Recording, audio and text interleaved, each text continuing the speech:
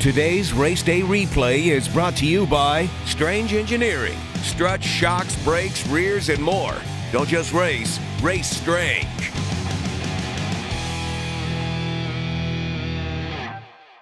But here it is. It's a little grudge match coming at you here, race fans. That's right, battle the Shelby GT 500s.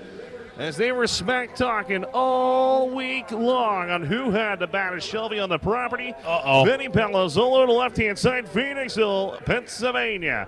The RNS Automotive Specialties KBX on board. Bennett Power. Bridget Palazzolo, of course, luscious pepper pots out there. Your number one qualifier, Brian Devilbiss, coming on the right hand side of Gettysburg, Pennsylvania. Evolution Performance. 13 uh, Shelby GT 500, the modular motor on board right hand side. MPR race engines. Slocco heads, HFR fabrication, PTP racing, Patrick Barnhill doing the tuning.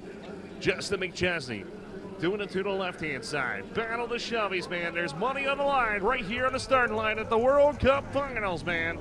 Unbelievable. Brian Devilbiss to the right hand side, Vinny Palazzolo will be on the left hand side. So this is battle of the two uh, of the best tuners on the planet. Also, you got Justin McChesney the left-hand side, of KBX. You got Patrick Barnhill with PTP. Haltech Engine Management Systems on the right-hand side. Big stuff on the left. Put it in the beams.